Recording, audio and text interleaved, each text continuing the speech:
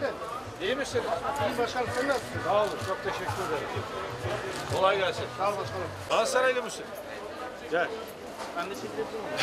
Selfie'ni kendin yapıyorsun. Ayağım Yani sen çıkartayım ben. öpücük gönder dedeye bakayım. Öpücük gönder dedeye.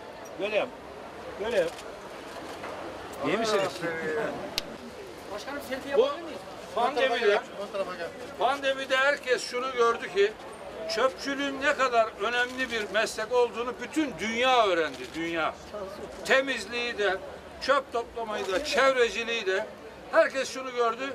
Sizin ne kadar önemli bir iş yaptığınızı, siz olmasanız hayatımızın ne kadar zor olacağını bütün dünya anladı. Kolay gelsin. Ben 2018 kampanyasında bak bir daha seçerseniz dolar 8-10 lira olur demiştim oldu.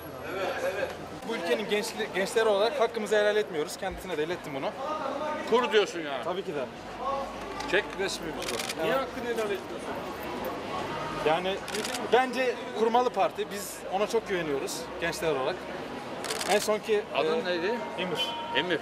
Burada mı yaşıyorsun? Burada yaşıyorum başkanım. Kaç? Okuyor musun? Okuyorum hem çalışıyorum hem okuyorum.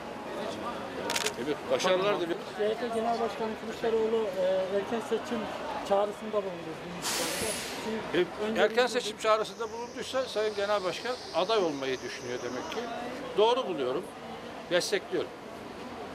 Teşekkürler.